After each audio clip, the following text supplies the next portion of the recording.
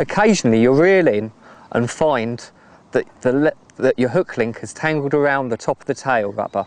It's less likely to happen if you're using lead core, but the way to get rid of it when using your normal main line tied all the way through to your quick lock swivel is to put a bit of sinking rig tubing or the new covert tungsten tubing onto the main line just above the, the, the lead clip.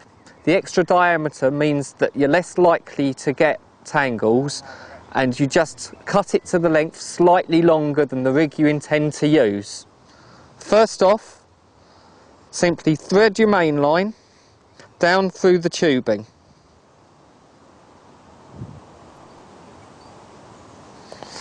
Next, put your tail rubber on as before and your lead clip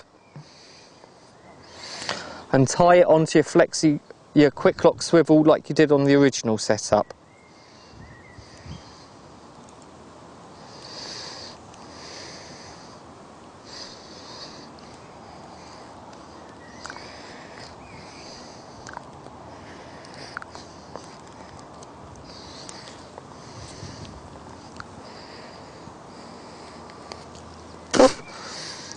As with the first time, make sure that the lead clip clicks firmly onto the size 8 quick lock swivel.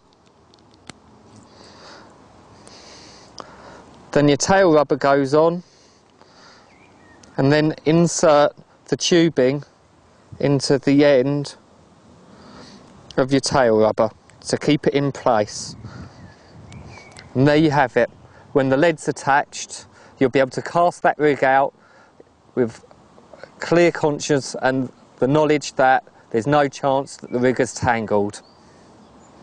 Even though our sinking rig tubing is very dense and lays flat on the bottom, sometimes you might want the extra security of knowing that the end of the rig tubing is pinned very tight to the lake bed.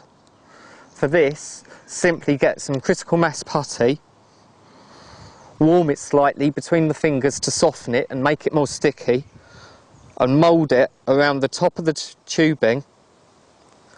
This very dense tungsten putty will add weight to your setup and ensure that the end of the tubing lays flush to the lake bed so it will be less conspicuous to carp feeding around the area of your terminal tackle.